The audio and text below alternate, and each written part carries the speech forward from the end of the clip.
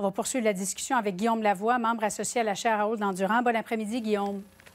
Bon après-midi, Julie. Bien, rebondissons ensemble sur euh, cette déclaration qu'a faite un petit peu plus tôt, aux alentours de, 14 heures, du président américain Joe Biden.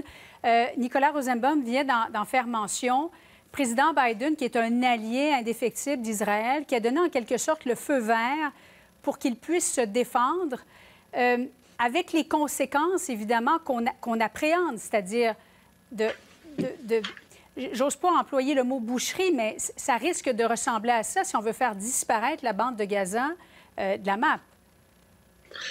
D'abord, il y avait deux messages importants euh, dans l'intervention du président Biden.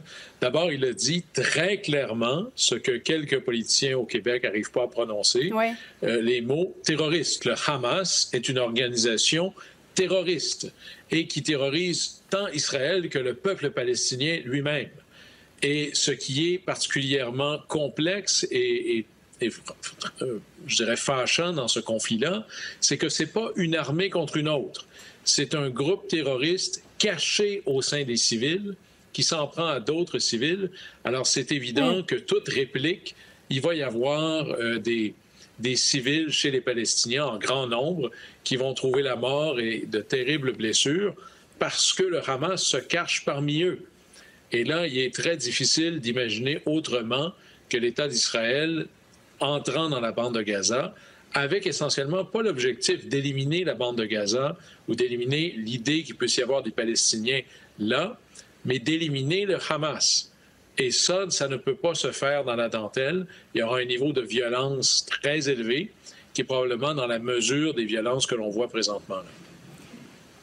Guillaume, ça va être très dur aussi d'attaquer ce territoire parce qu'il y a des tunnels de plusieurs dizaines de kilomètres, vraiment très bien construits au sein de la bande de Gaza, qui est, qui est un territoire très petit d'ailleurs, euh, où, les membres du Hamas vont pouvoir peut-être se, se cacher à ces endroits-là.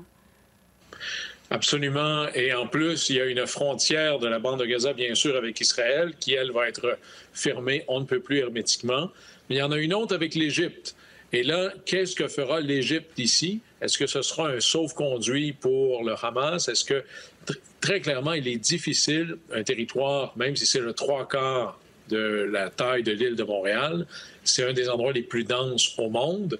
Alors, c'est presque l'endroit rêvé pour une organisation terroriste de se camoufler à travers la population et se fichant carrément ou même utilisant le fait que les répliques israéliennes causeront des dommages et des blessés et des morts dans la population civile.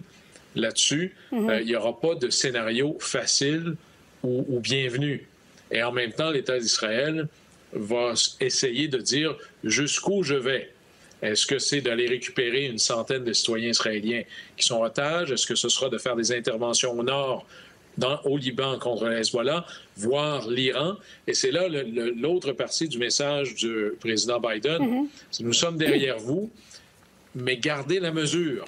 Et c'est très difficile à faire comme appel. Alors, tout ça est extraordinairement délicat. Israël qui a déclaré euh, l'état de guerre du président euh, Benjamin Netanyahou il y a eu des, centaines de frappes, des, endroits dans la bande de Gaza qui ont été ciblés. Mais est-ce qu'on comprend que la véritable réplique d'Israël, on ne l'a pas encore vue, Guillaume?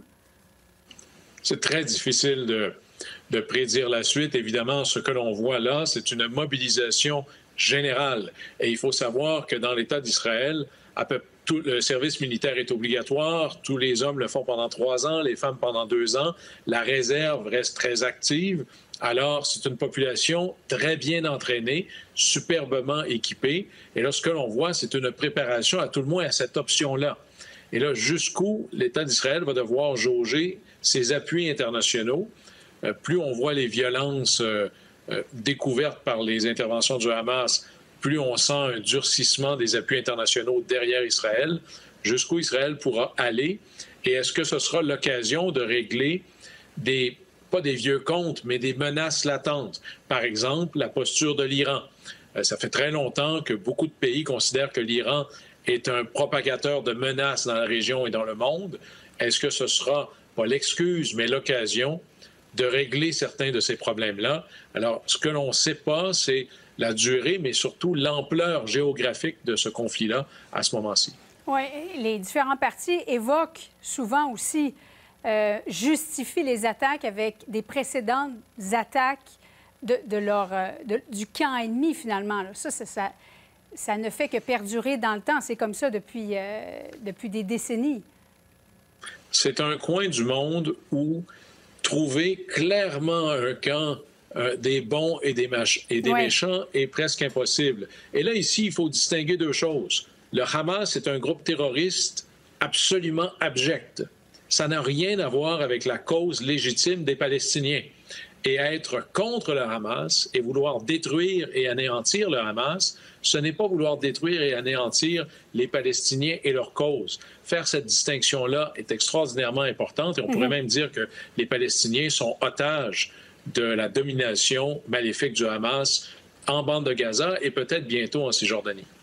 Guillaume Lavoie qui est avec nous, membre associé de la chaire Raoul Endurant. Merci beaucoup, Guillaume. Au plaisir. Au revoir.